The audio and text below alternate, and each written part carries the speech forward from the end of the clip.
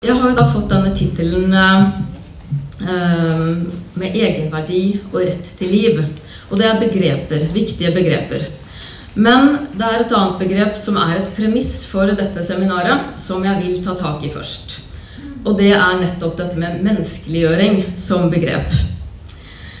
Det er et premiss for seminaret at uh, menneskeliggjøring er et meningsfylt begrep. At det, er, liksom, at det sier noe om noe og at det er et dyrevelferdsproblem i en eller annen form.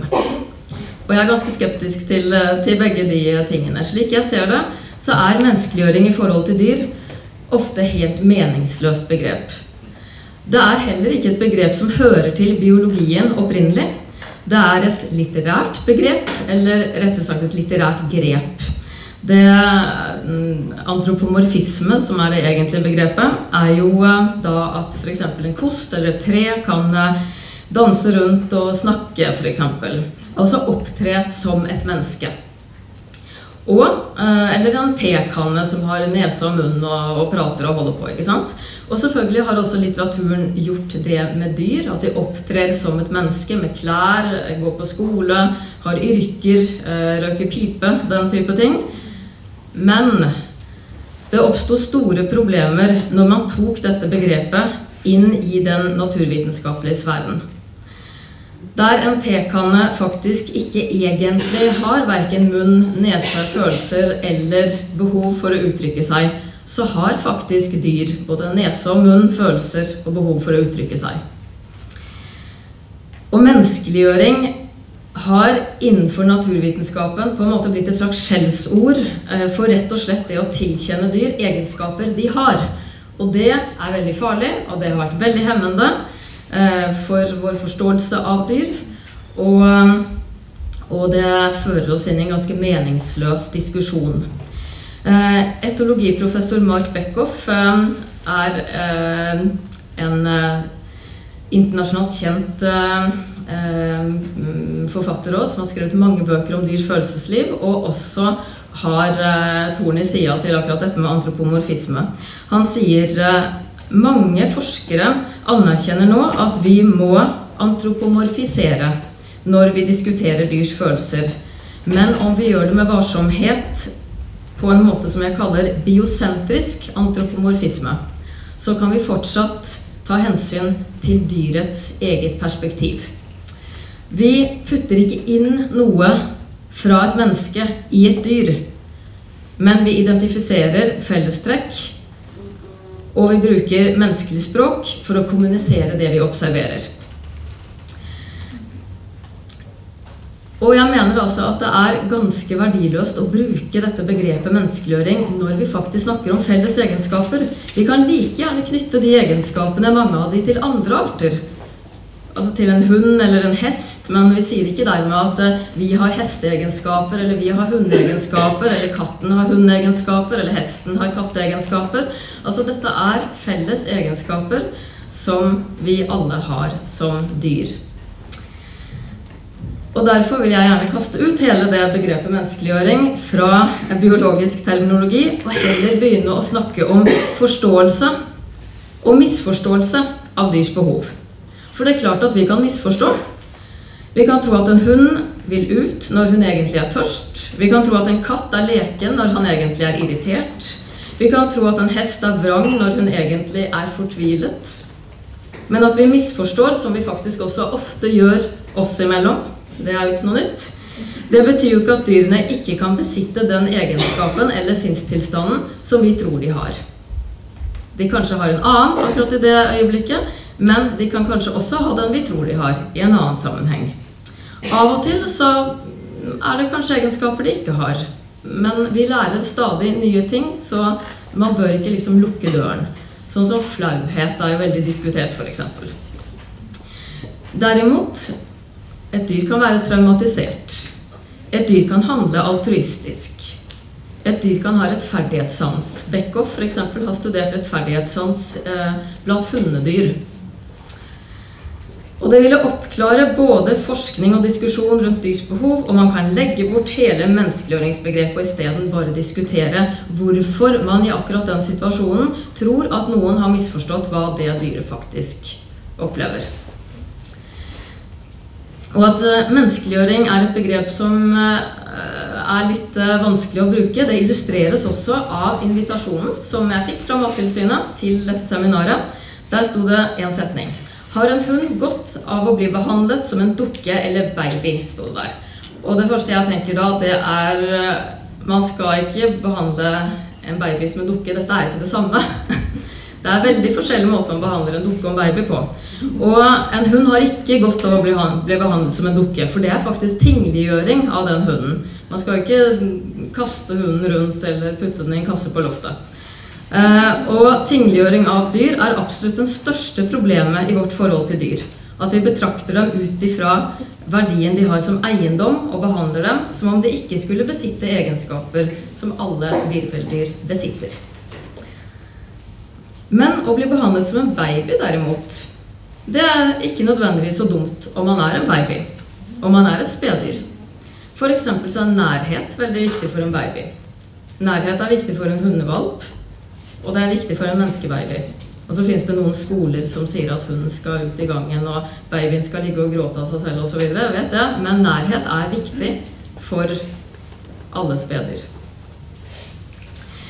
Men selvfølgelig, hvis man hindrer hunden i å drikke fra bekken i skogen fordi man ville hindret babyen i å gjøre det samme, ja, så har man misforstått hundens behov. Men det er jo fortsatt ikke meningsfylt å kalle det menneskeliggjøring.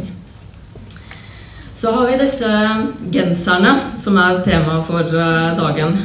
Um, seminarets plakat var illustrert av en hund med genser. Og så merker jeg meg at uh, den litt uskyldige blå genseren den er bytta ut med noen sånne ganske crazy gensere her etterpå som eh, både er styggere og sikkert mer ukomfortable. Men jeg forholder meg til blå genseren. For jeg ser ingen illustrering av menneskeliggjøring i det bildet. Jeg ser en hund med en genser. Og så må man spørre seg da, er det et dyrevelferdsproblem? Nei, ikke hvis hunden fryser. Men ja, hvis hunden er for varm eller genseren er for trang. Men hvis det er likegyldig for hunden om den har på genser eller ikke, så er den selvfølgelig unødig. Men som samfunnsproblem, dyrevernproblem, så er en hund med genser forsvinnende lite i forhold til alt det dyr utsettes for. Så la oss istedenfor å tenke på denne menneskeliggjøringen som er ullen og misvisende, la oss heller vende blikket mot nyttige begreper i vår omgang med dyr. Og da merket jeg meg at eh, en god del av de begrepene Syse var innom, de har jeg også her på, i mitt manus. Men da ikke som forskjeller, men som fellestrekk. Vi vet jo at dyr har behov, ønsker og opplevelser. Vi, både dyr og mennesker, har alle et nervesystem. Vi har alle et følelsesliv, og et rikt følelsesliv. Vi kan føle smerte. Det begynner å bli ukontroversielt. Vi kan føle glede, sorg, mer kontroversielt, men vi kan faktisk det. Det er et fellestrekk. Sinne, frustrasjon. Vi kan være glad i, vi kan mislike, vi kan savne. Følelsene våre er, som Geir Erik sa, lokalisert i den eldste delen av hjernen, og den har også reptiler til felles med oss pattedyr. Så dette er noe helt grunnleggende. Den er like viktig for en gris eller en kråke som for en ape eller for oss, denne delen av hjernen. Og dyrene opplever jo i likeverdig grad. Deres opplevelser kan være både sterkere enn, helt like i noen situasjoner, eller mindre enn de vi har. Det kommer an på. Det kommer an på situasjonen. Vi er også forskjellige. Vi opplever ikke likt, vi heller. Og i mange situasjoner kan man se dyr opplever større grad av redsel i en gitt situasjon. Større grad av smerte i en gitt situasjon. Fordi de kanskje da heller ikke forstår hva som skjer. Det er ingen vitenskapelig eller logisk grunn til å mene at deres opplevelser ikke teller i betydningsfullhet like mye for dem som våre gjør for oss. Og det er ingen grunn til å påberope seg monopol og kalle de for menneskelige. Så vet vi nå faktisk også at de aller fleste dyr har bevissthet av seg selv. I 2012 signerte deltakerne på en forskerkonferanse om bevissthet ved Cambridge universitet Eh, en erklæring som kalles The Cambridge Declaration on Consciousness.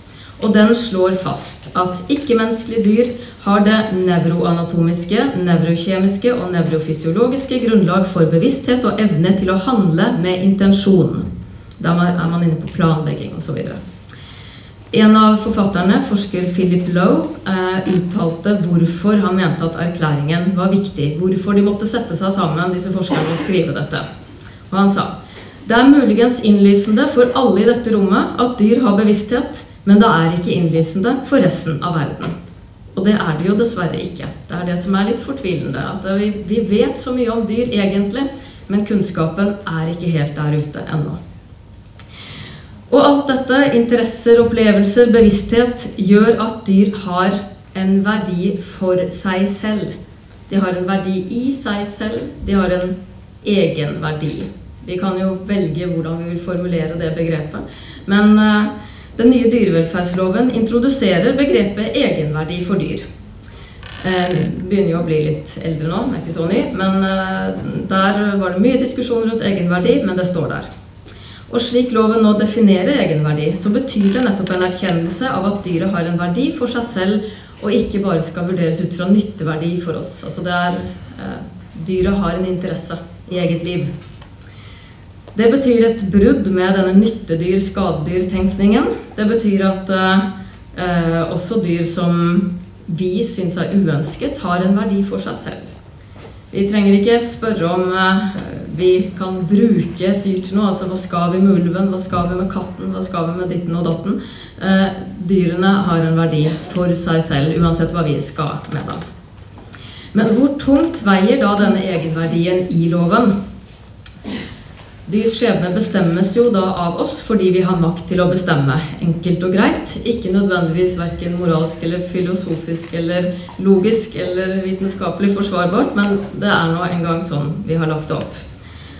Og i praksis så er den egenverdien ganske fjærlett. Det er ett sted i dyrevelferdsloven den kommer inn. Og den kommer inn i avlivingsparagrafen. Man skal ikke avlive eh, et dyr. Det skal ikke skje som et selvstendig underholdnings- eller konkurranseelement. Og det ble direkte knyttet til egenverdibegrepet. Så dyr skal altså ikke tas livet av bare fordi man finner selve avlivingen morsom. Men gidder man ikke ta seg av dyret mer, Syns man at noe rundt avlivingen, altså jakten kanskje, er eh, spennende? Um, er det et eller annet trivielt formål, sånn som pynt eller hva det måtte være, som man ønsker å avlive dyr for, ja, så beskytter ikke egenverdibegrepet i loven dyr fra å bli avlivet for de trivielle formålene heller. Og det til tross for at vi vet at de har bevissthet, opplevelse og ønsker i sin eksistens. Uh, og så er det rett til liv. Uh, departementet sa faktisk følgende i forbindelse med dyrevelferdsloven.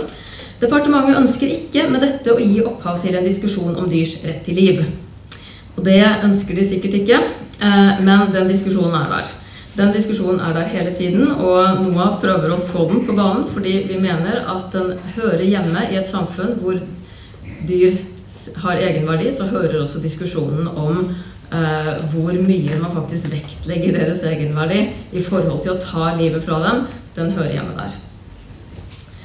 Og i takt med økende forståelse for hva dyr opplever, og på hvilken måte de har glede av sitt liv, så blir også dette spørsmålet viktig. Å erkjenne at dyrs interesse av Altså å erkjenne selve det der at dyr har interesse av liv, det burde på en måte være åpenbart. Altså vi, vi har interesse av å leve. Eh, fordi uten liv så har vi liksom ingen muligheter. Da, da er det ikke noe. Men det er jo noe, så vi har interesse av liv. Dyr kjemper for sitt liv. De frykter trussel om død. Så hvis de, hvis de ser at eh, andre dør rundt dem altså De frykter trussel, trussel om død. Mange dyr uh, sørger, savner de som er døde. Det var også begrepet som var oppe her i forhold til forskjellene. Men elefanter, f.eks begraver jo da sine døde.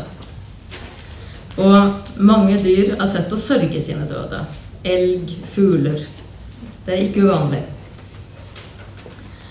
Og ut ifra dette og det enkle faktum at livet er det eneste som kan gi dyr gode opplevelser, som jo alle vil ha, så bør det være åpenbart at når noen først har et liv, så er det ikke en likegyldig handling å ta dette livet fra noen.